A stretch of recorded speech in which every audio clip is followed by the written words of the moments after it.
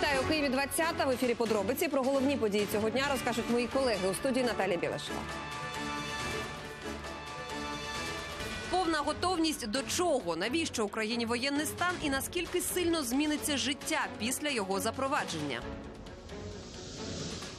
Стурбованість найвищого рівня за атаку на Азові взялася Рада безпеки ООН. Які результати?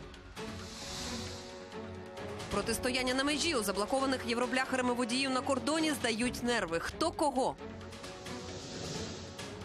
Підвищення не для всіх. Внаслідок медреформи лікарям обіцяють зростання зарплат. Чому на це не можуть розраховувати і медсестри?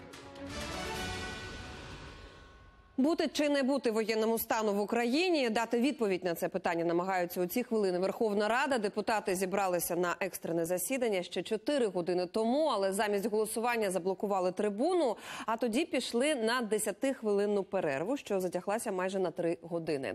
Хронологія позачергових зборів парламенту в нашому матеріалі. О 16-й годині сесійна зала вже майже заповнена. Багато хто з нардепів навіть перервав відрядження, аби сьогодні бути у Верховній Раді. В кулуарах хто встигає, коментує рішення, яке доведеться ухвалювати. Навіть якщо буде прийнято рішення проведення військового стану, що це змінить в частині деескалації конфлікту в Азовському морі? Та нічого. Тому що деескалація може бути зменшена, деескалація може бути ліквідована тільки за рахунок прямих переговорів з Російською Федерацією на, на майданчику Європейського Союзу і під е, гарантії е, структур Європейського Союзу або країн, членів Нормандської четвірки. Я вважаю, що сьогоднішнє намагання ввести військовий стан це спроба президента Порошенка зірвати вибори президента. Це єдине, він розуміє, що він програє вибори і пішов на такий крок для того, щоб навіть заради ескалації конфлікту, навіть заради введення військового стану е, прибрати і зірвати вибори президента. Введення військового стану, воно в практичному сенсі для деескалації конфлікту в Азовському морі нічого не дає. Завдання яке? Припинити ескалацію, припинити конфлікт Азовському морі, на сході країни. А який буде сенс відведення військового стану внутрі країни? Та ніякого. Окрім того, що буде е, відтермінування виборів. Переговори прямі так. Бо на майданчику Євросоюзу під посередництвом Євросоюзу так. Це дасть ефект. В указі зазначено, що можуть обмежуватися майже всі конституційні права і свободи, і право на свободу слова, і право на свободу пересування, і вільний вибір місця проживання, і право на працю, і навіть право на освіту, і право на підприємницьку діяльність, і найважливіше право приватної власності. Тобто, у разі запровадження воєнного стану ці е, норми конституції можуть обмежуватись. Тому, звісно, е, це викликає великі питання сьогодні в людей. І безумовно, ми будемо подавати пропозиції, щоб ввести воєнний стан на окремих територіях. Серед депутатів лунає і інша пропозиція – ввести воєнний стан не на 60 діб, як зазначено в указі, а на 30 діб. Чому президент не бачив це 4 роки і побачив це за декілька місяців до виборів? Насправді, Е, що можна зараз зробити? Перше, треба е, прийняти рішення про введення військового стану на 30 діб. З можливістю продовження, якщо е, буде загострення. Тобто, якщо буде на 30 діб всього на всього введений військовий стан, це ніяк не заважає виборам. І тоді е, Порошенко покаже, що він це робить не виключно з власних егоці... егоїстичних е, речей, а для добробуту українського народу, для добробуту Украї... для безпеки української держави. раненые украинские моряки, они находятся в плену. То есть у нас в плену украинцы, и мы обязаны на это отреагировать. Единственным вариантом я вижу это введение военного положения. Сроки мы сейчас будем обсуждать. А, Введение военного положения так, чтобы это никоим образом не отразилось на экономике страны максимально, чтобы это не отразилось на людях. Никто не собирается ограничивать въезд-выезд из страны. Тим часом спікер заходить до сесійної зали і оголошує про відкриття позачергової сесії в стінах парламенту і президент. Проте президіум заблокований. Радикали вимагають, аби спочатку Порошенко провів розмову з головами фракцій. Після годинного спротиву спікер все ж таки пішов на поступки. Як голова Верховної Ради на 10 хвилин оголошую перерву як голова Верховної Ради. Проте консультації, за словами депутатів, були не з президентом, а зі спікером. Він був в кабінеті голови Верховної Ради. Він мав виступати в парламенті. Ви бачили штандарт.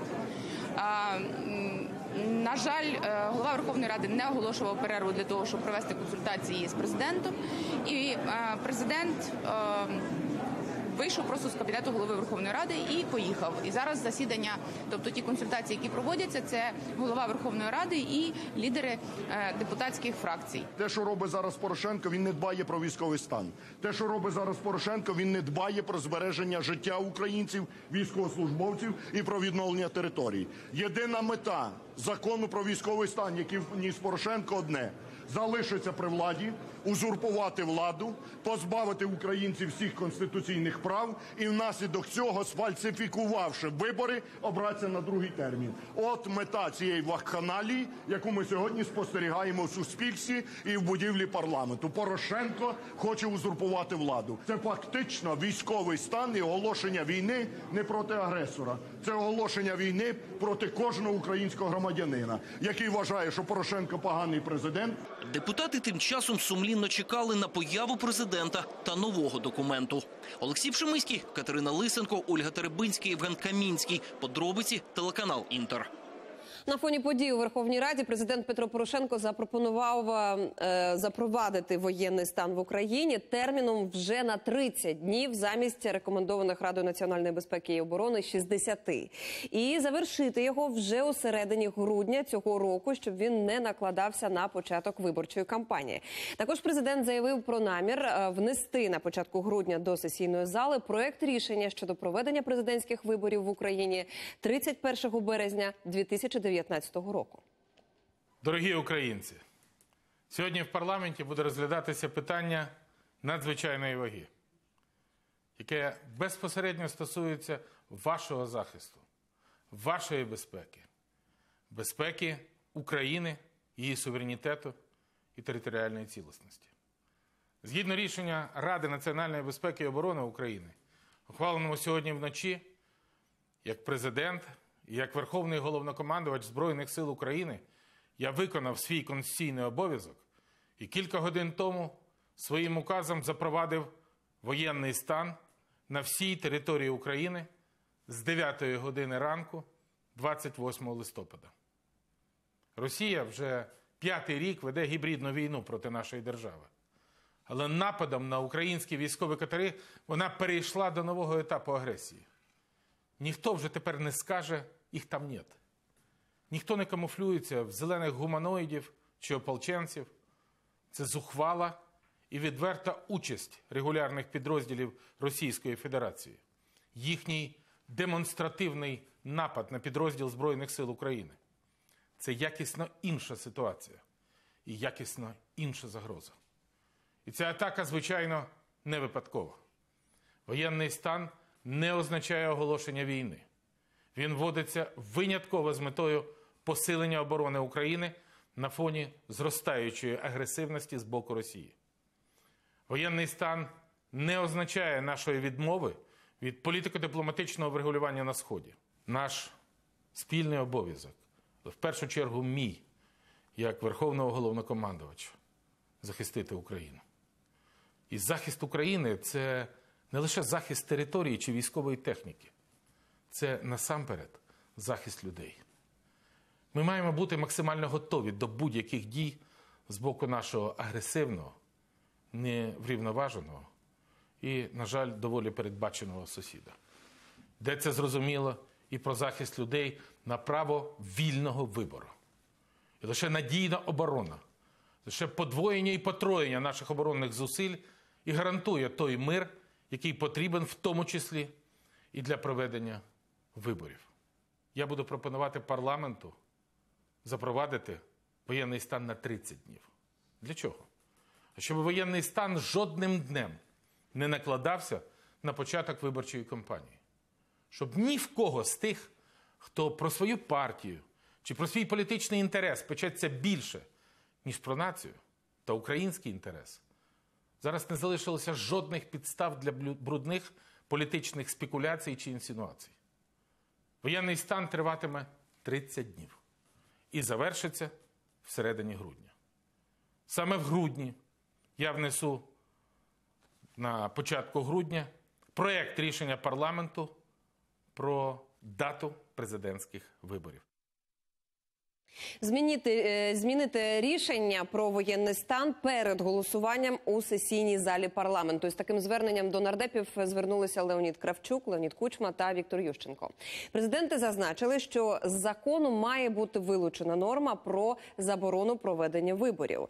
Крім того, за їхніми словами, перед голосуванням народні обранці мали б законодавчо закріпити 31 березня 2019 року днем виборів президента.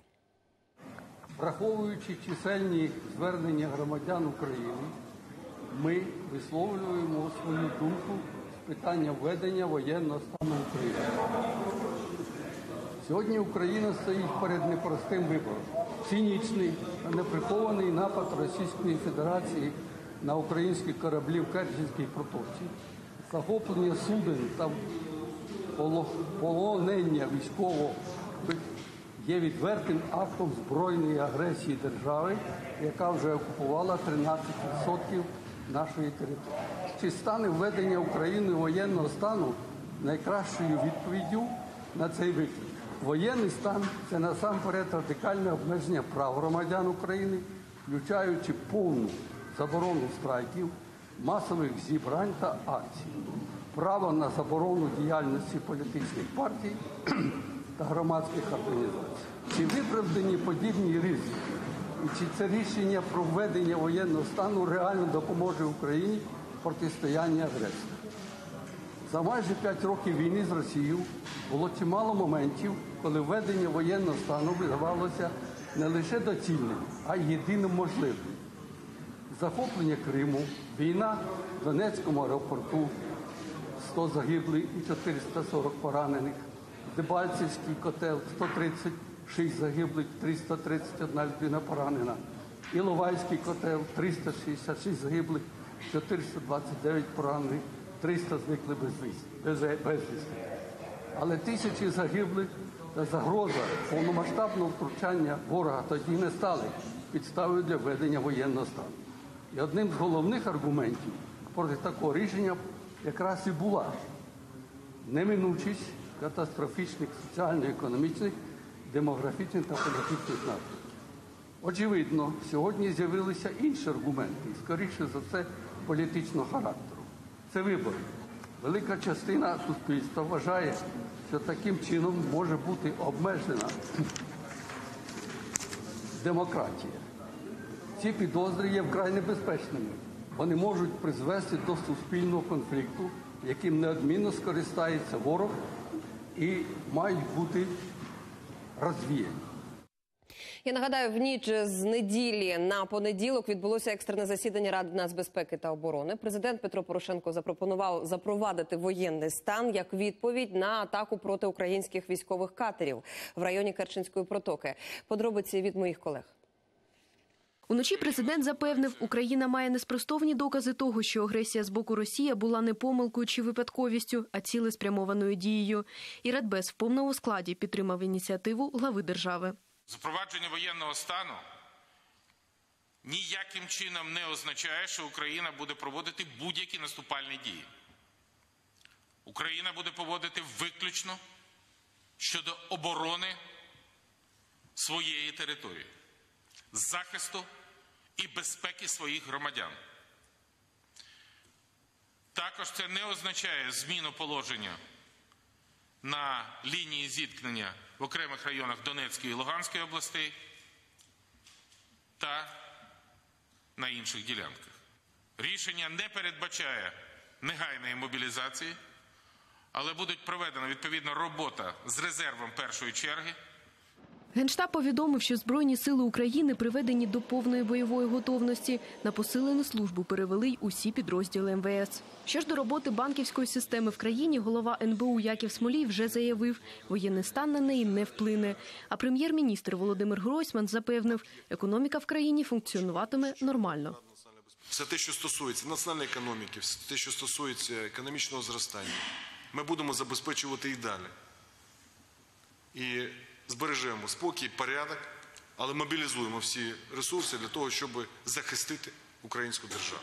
Нагадаємо, що в умовах повномасштабного воєнного стану влада може запровадити комендантську годину, тобто заборонити перебування на вулицях у нічний час без спеціальних дозволів.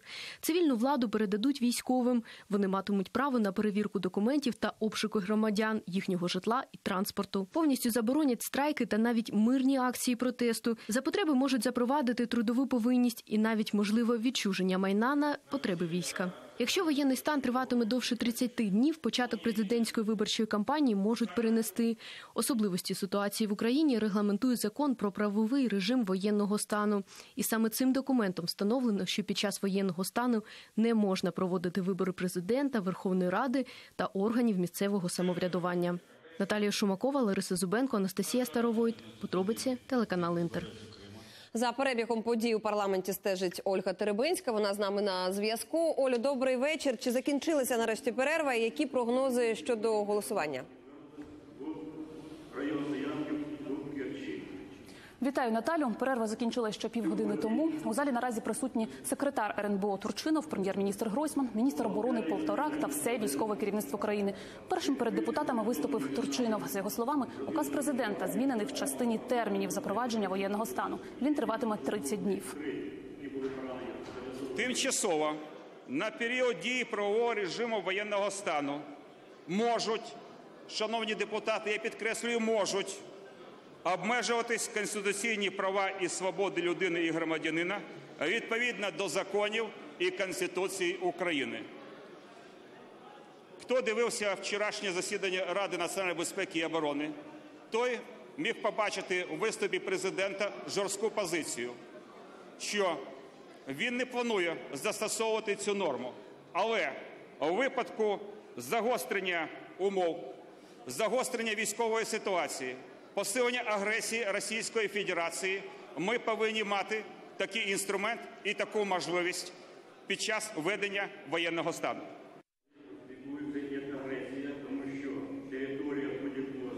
Я нагадаю, що на зміні документу наполягали ряд фракцій Батьківщина, радикали та самопоміч. Вони також наполягали на введенні військового стану не на всій території країни, а лише в окремих регіонах. Зараз перед депутатами виступає начальник генштабу Муженко. І поки що це вся інформація, яка в мене є.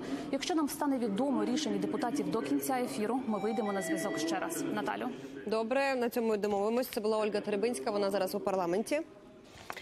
А напередодні в Азовському морі я нагадаю, прикордонний корабель РФ протаранив біля Керченської протоки буксир ВМС України, який разом із двома бронекатерами прямував із Одеси до Маріуполя.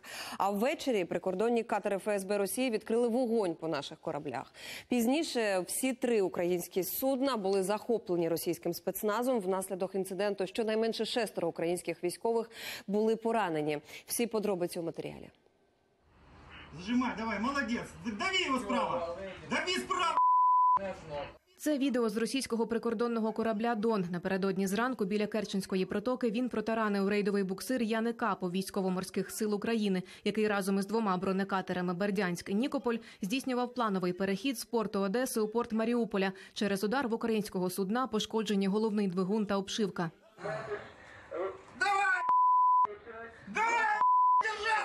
У командуванні ВМС відзначили про намір здійснювати перехід. РФ проінформували заздалегідь відповідно до міжнародних норм. Російські прикордонники цього попередження, начебто, не отримали. Після тарану українського корабля прохід під мостом росіяни загородили танкером. У небо підняли вертольоти та штурмовики. Увечері корабельна група ВМС України почала рух на вихід з Керченської протоки. У відповідь російські катери розпочали переслідування та відкрили вогонь. По українському військовому катеру Бердянськ стріляв російський корабель Ізумруд з гармати калібру 30 мм.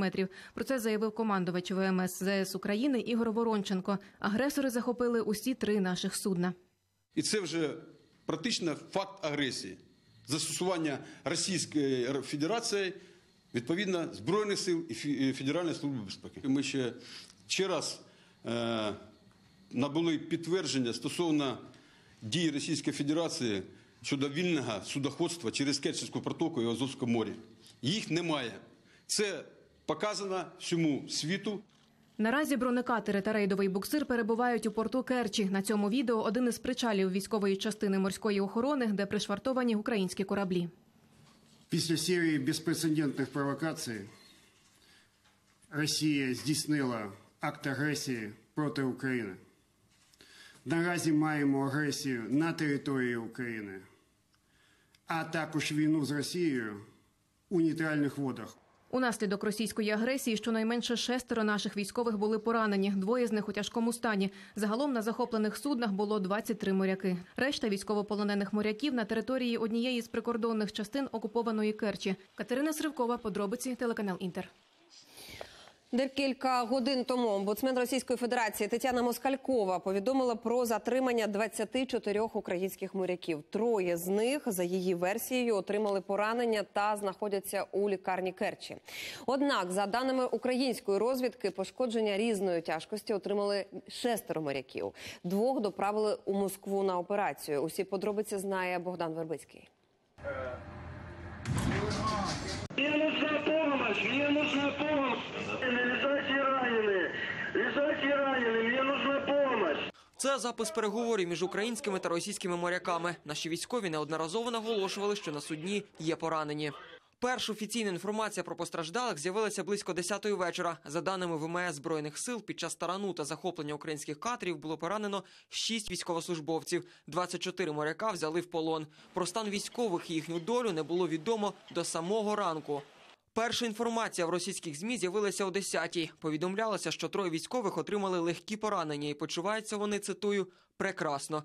Цю інформацію підтвердила й український омбудсмен Людмила Денісова. За даними її російської колеги Москалькової, постраждалі моряки госпіталізовані до лікарні у Керчі. Решта військовополонених моряків на території однієї з прикордонних частин окупованого міста.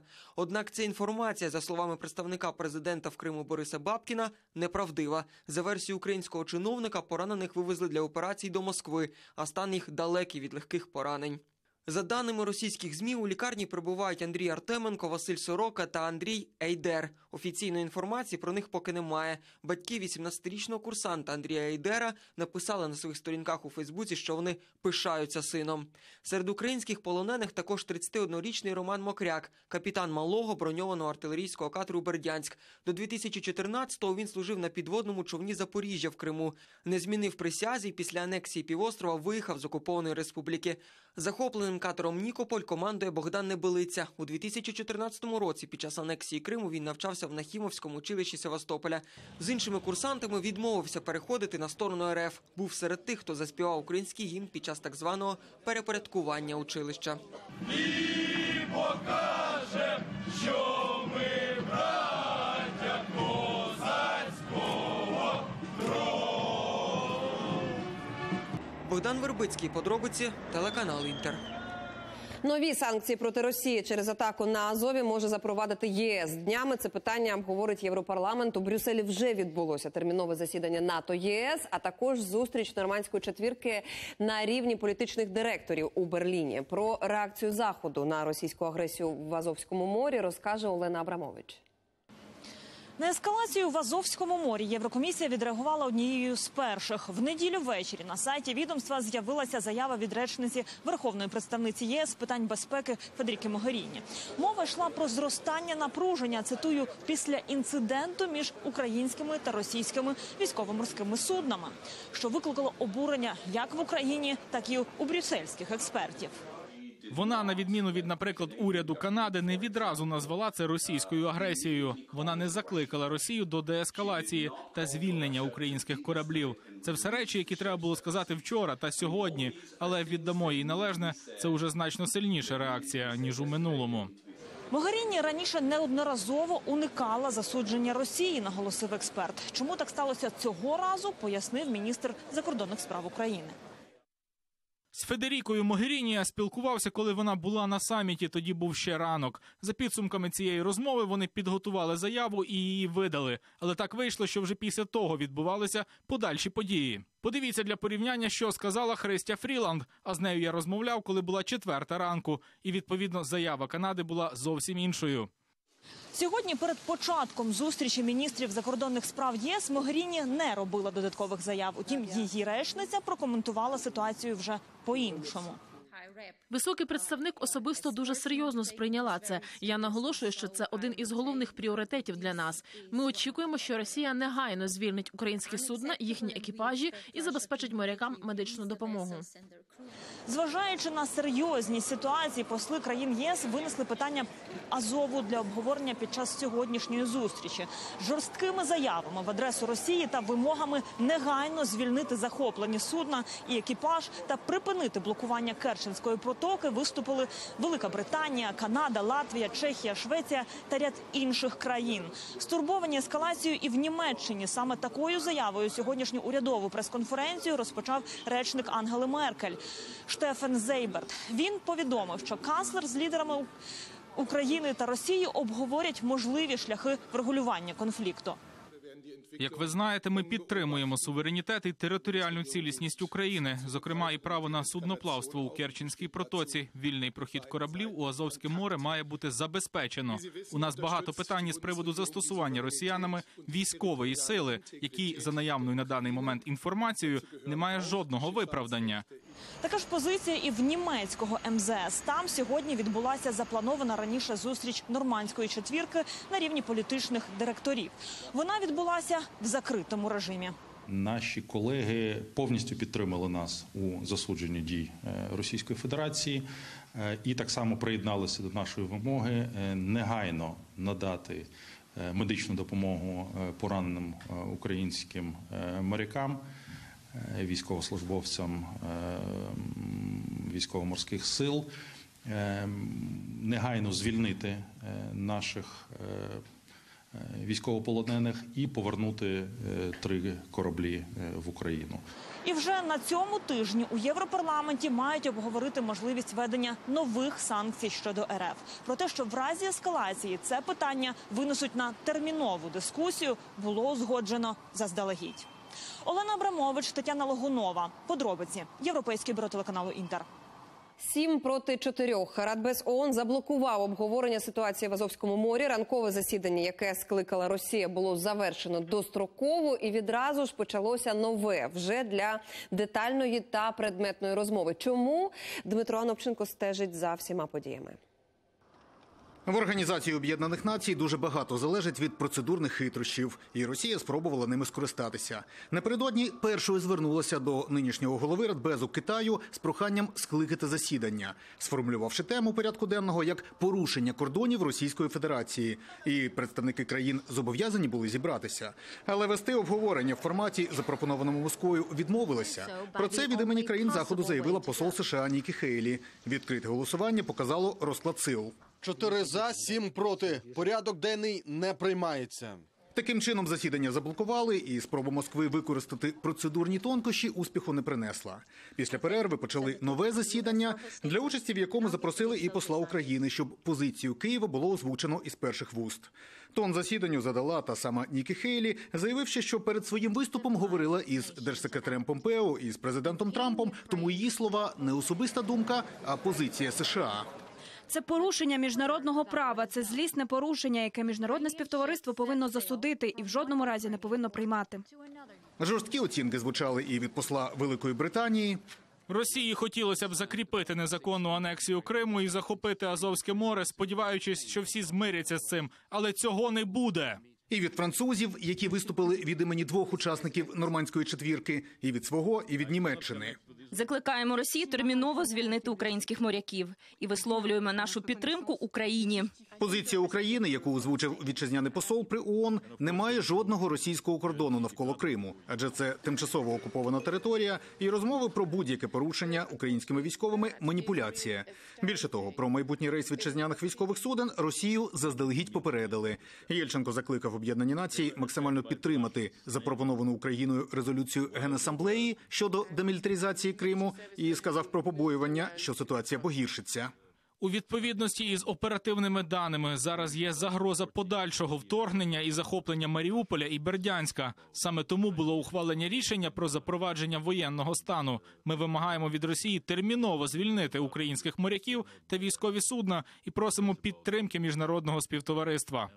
Ще до початку засідання дипломати неофіційно говорили нам, на ухвалення рішення розраховувати зараз не доводиться. Готувалося кілька чорнових варіантів резолюції, але з огляду на право вето Росії жоден із них не мав шансів пройти. Зі сполучених штатів Дмитро Анопченко, Юрій Романюк, американське бюро телеканалу Інтер. Можливе впровадження воєнного стану вже вплинуло на курс валют. Гривня почала стрімко втрачати у ціні, як і акції українських компаній. Що зміниться для українців, якщо особливий режим все ж таки запрацює? Про це у- нашому матеріалі. Можливе запровадження воєнного стану спровокувало коливання на ринку продажу валют. Нацбанк збільшив курс долара на завтра на 11 копійок до 27 гривень 89 копійок. Дещо агресивніше відреагував комерційний ринок. За даними фінансових видань, деякі банківські установи продають долар вже майже по 29 гривень. Жодних обмежень у разі ведення воєнного стану Національний банк не встановлюватиме. Про це голова НБУ заявив під час екстреної наради з керівниками 40 банків. Очільник відомства закликав фінустанови по максимуму заповнити банкомати готівкою, аби уникнути паніки серед населення. Свою позицію щодо співпраці в умовах воєнного стану досі не озвучив міжнародний валютний фонд. Хоча в українському офісі МВФ наголосили, організація вже мала досвід роботи з країнами у стані військових конфліктів. Особливий режим не вплине на роботу Укрзалізниці. Про це у Фейсбуці повідомив її керівник Євген Кравцов. Він запевнив, пасажирські та вантажні поїзди курсуватимуть відповідно до графіка руху та за всіма незабороненими законодавством маршрутами. У штатному режимі працює аеропорт Бориспіль. Не змінить режиму роботи й Укрпошта. Виплачувати пенсії та надсилати кореспонденцію обіцяють без затримок. Цілодобову реєстрацію автівок на єврономерах обіцяють у МВС. У відомстві наголошують, що максимально спростять процедуру легалізації так званих євроблях. Тим часом на українському кордоні продовжують зростати авточерги. У зв'язку із загостренням ситуації нові правила розмитнення роз'яснили у Державній фіскальній службі. Деталі знає Юлія Жешко. Більшість автомобільних пунктів пропуску в західних областях досі заблоковані євробляхарами. На Львівщині та Волині з восьми КПП на кордоні з Польщею не працюють п'ять. На Закарпатті повністю заблокований українсько-словацький кордон. Потрапити до Угорщини можна через пункти Дзвінкове, Косино та Вилок. Немає проблеми з перетином кордону з Румунією у Чернівецькій області. У Ягодині це Волинська область. За два кілометри від державного кордону траса перекрита. Мітингувальники вже не ходять по зебрі, а зробили барикаду з шин. Стояли всю ніч. Я стою, щоб мої діти, мої діти добре жили. Я їжджу на е, євробляхах на польських номерах на протязі п'яти років. Ні разу не е, порушувала закон. Кожних 5-10 днів я виїжджала, я в'їжджала. Ми тут стоїмо, щоб вернули нам наш транзит. Протестувальники не пускають навіть митників. Після зміни тим доводиться долати кілометри пішки. Це ви у вас перезмінка? Да, бачите, вирішили пройти. На місцях багато поліцейських. Є і Нацгвардія. Намагаються домовитись з євробляхарами. Та поки ті мітингують, інші водії стоять у довжелезних чергах. У деяких здають нерви. Вони вдягають жовті жилети та просто розкидають шини.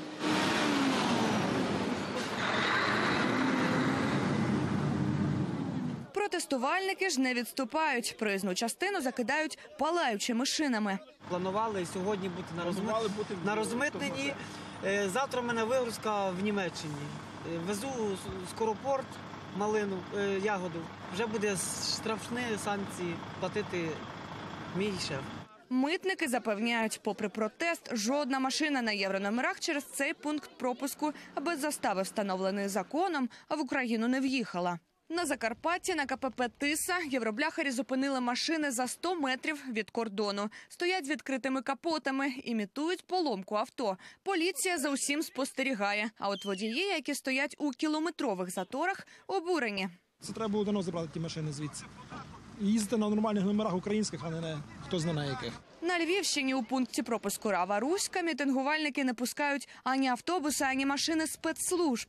Ми цю інформацію передали польським колегам, щоб вони скеровували е, громадян пункти пропуску, які розблоковані, і аналогічно е, пояснюємо людям, які очікують е, на перетин кордону перед пунктами пропуску з української сторони, що вони можуть обрати суміжні, суміжні пункти пропуску для перетину. А це пункт пропуску Краківець. Майже північ. Три автобуси з дітьми повертаються з танцювального фестивалю у Кракові. У черзі простояли кілька годин. Там були дуже різні ситуації, вплоть до викликання е, швидких, е, тому що люди там були люди, які потребували інсулін, там були люди, які потребували інші ліки. Такі терористичні методи вони є, та вони неправильні. Пропустити дітей мітингувальники згоджуються лише ближче до ранку. За яких умов євробляхарі можуть їздити на своїх машинах, сьогодні в Києві розповіли представники ДФС. Ті, хто вже має авто з іноземною реєстрацією, у першу чергу мають сплатити штраф 8,5 тисяч гривень. І лише після цього офіційно розмитнити авто. Скільки доведеться викласти за власне легалізацію євробляхи, можна підрахувати за формулою. Вона складається з базової ставки, помноженої на коефіцієнт об'єму двигуна та віку машини. Є іще нововведення. Перетинати кордон водій може лише за умови сплати застави. Її розмір враховується безпосередньо у пункті пропуску. Знов ж таки залежно від віку автівки та її вартості. Якщо власник машини прострочить термін перетину кордону, на нього чекає штраф 170 тисяч гривень. Дані штрафи вони будуть виписуватись е, працівниками митниці, передаватися до суду, і вже на підставі рішення суду виконавча служба виконавчої служби будуть стягуватись такі штрафи. Однак і це іще не все. Контролювати офіційно зареєстроване авто чи ні мають поліцейські, які можуть зупиняти машини на єврономерах та перевіряти документи у водіїв. Юлія Жешко, подробиці, телеканал Інтер. Двох українських військових поранено сьогодні на Донбасі. Ворог шість разів обстрілював наші позиції. Бойовики активно застосовують заборонену зброю, зокрема міномети 82-го та 120-го калібрів. Армійці придушують ворожі атаки вогнем у відповідь. Більше розповість Ірина Баглай. Поки у Києві вирішували, чи вводити чи ні воєнний стан та де саме, на передовій вночі отримали наказ привести війська у повну бойову готовність. Та насправді для бійців нічого не змінилося, адже бої тут не припинялись ані на день. А нас нічого не змінилось. Ми як були, так і, так і остаємося. Уже зранку над Авдіївською промзоною чути постріли і гуркіт вибухів. Когда мы только показываемся, по нам сразу начинает работать. То есть э, мы не высовываемся сейчас. Та цієї ночі російські найманці й не шукали приводів, щоб відкрити вогонь. За даними нашої розвідки, команду повна бойова готовність. Бойовики на Ясинуватській розв'язці отримали ще два дні тому. Батальон Восток. Работает, да, это, это. А с чего? Стрельба дня. Вог. И ВОГ, и РПГ, РПГ, да. со всего работает. Атакувати позиції українських піхотинців ворог почав ще напередодні в обід. Ось Зі вчорашнього дня, десь з опівдня, е, по сусідам справа, цілий день ворог вів вогонь. Гранатомети, ну і міни 82-го калібру, РПГ. Цілий день вчора, майже, майже до опівночі. Ну і сьогодні зранку також. Пожвавлення у лавах противника помітили і бійці на крайніх спостережних постах. Від них до окупанта лічені десятки метрів.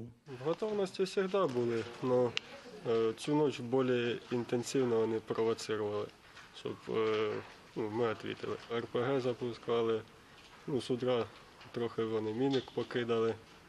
АГС в основному. Поки одні фланги вели вогонь, з інших бойовикам підвозили спецвантаж. Сьогодні вночі, наприклад, наприклад, чули, що вантажні машини приїжджали, бортами стукали, щось розгружали. Можливо, боєприпаси чи що це може бути? Ну, неможливо, я думаю, все-таки боєприпас.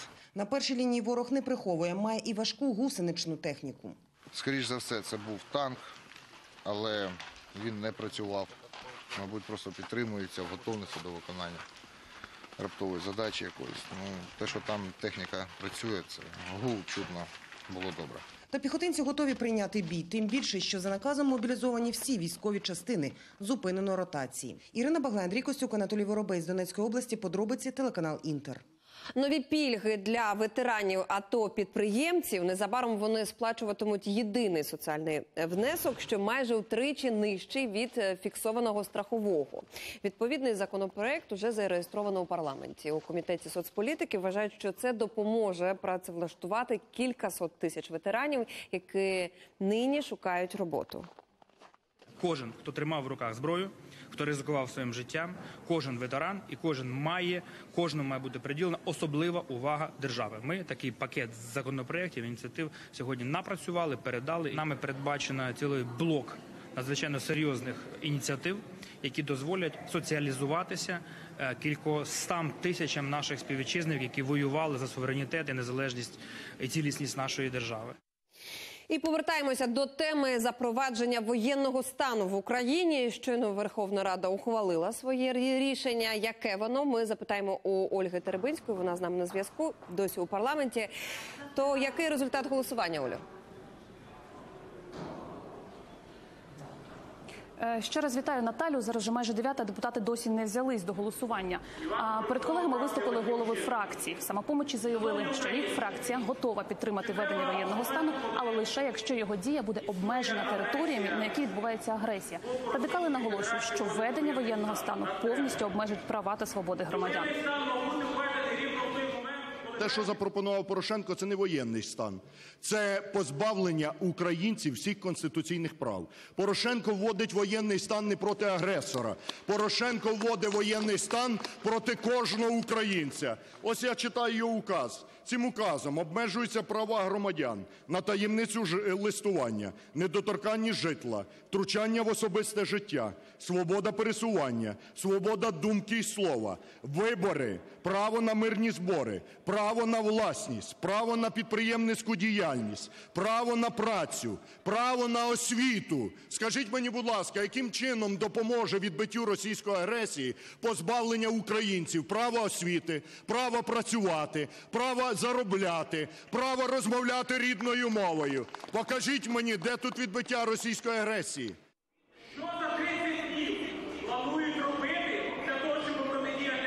У БПП кажуть, це не оголошення війни, а підсилення обороноздатності. Президентська фракція готова голосувати за. У батьківщині заявляють, що з перших днів їх фракція вимагала введення військового стану, і їх команда готова підтримати введення, але наголошують, у президентському указі порушується ряд конституційних прав і свобод. Фракція народного фронту підтримує введення ВС на 30 днів з можливістю його продовження. І у фракції також закликають не порушувати права громадян. Тим часом в залі очікують на виступ президента, але штандарт досі не винесли. Тобто, коли буде цей виступ, поки не зрозуміло. Наталю. Мені зрозуміло, що рада не ухвалила рішення, тож чекаємо на нього. Дякую тобі, Оля.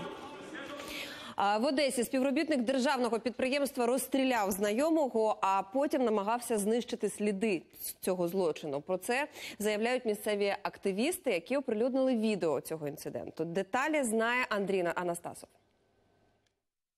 Андрій Корольов, колишній коп, нині заступник начальника відділу внутрішньої безпеки держпідприємства Адміністрація морських портів України. Це його будинок під Одесою. Днями тут стався конфлікт між Корольовим та одним із гостей на ім'я Володимир. Останній тепер у лікарні. У нього прострілені ноги, поранення в руку, зламані ребра та безліч забоїв. Вот здесь сидит пуля. Это шарик с, остальным, э, с остальной начинкой. Володимир, звичайний підприємець, каже, до будинку зайшов у справах. Корольов запропонував йому випити, а згодом чи то на щось образився, чи то просто хотів зігнати злість, почав бити, а потім стріляти в притул з травматичного пістолета. Уже поранений Володимир намагався втекти на своєму мікроавтобусі, але Корольов продовжив стрілянину. Пе- Прямо перед мной- передо мной был перезаряжен пистолет, и пошла очередь выстрелы. Без предупреждения, без э, выстрела вверх. Самое главное, что у меня было ощущение полного чувства безнаказанности от человека. Непритомного чоловіка чиновник та його помічники заволокли до мікроавтобуса і залишили там стікати кров'ю, а самі заходилися знищувати сліди злочину, збирати гільзи, замивати плями. Розголосу інцидент набув завдяки активістам. Їм анонімно надіслали відео з камер спостереження. То есть это абсолютно извращенного ума человек, чиновник, аморальная личность, не уважающий ни закон, ни ценность жизни. Сегодня людей, которые верят в то, что вот после этого э, такого человека накажут, в нашем государстве ну, почти не осталось. Проти чиновника поліція відкрила кримінальне провадження за статтею хуліганства і застосуванням зброї. Втім, він також вважає себе постраждалим. каже, днями цей пістолет у нього вкрали. Поки що е, з ним були лише телефонні розмови. Він спілкується з правоохоронцями через свого захисника. В теперішній час, як він повідомляє, він перебуває на лікуванні, е, тому як отримав е, травму голови в ході бійки. В адміністрації морських портів визнали це дійсно їхній співробітник. На зв'язок він не виходить з минулого тижня. Роботодавець здивований такою агресивною поведінкою та призначив службове розслідування. Скоріше за все, нами буде прийнято рішення щодо звільнення даного працівника з державного підприємства. У нас є відповідний кодекс поведінки, і така поведінка, яка там продемонстрована, не відповідає кодексу та етикету поведінки працівника на державному підприємстві. Наразі Андрію Корольову загрожує від трьох до семи років позбавлення волі. Андрій Анастасов, Ігор Міханошин, подробиці телеканал Інтер, Одеса. Це всі новини на сьогодні. Більше будемо знати вже завтра. До зустрічі.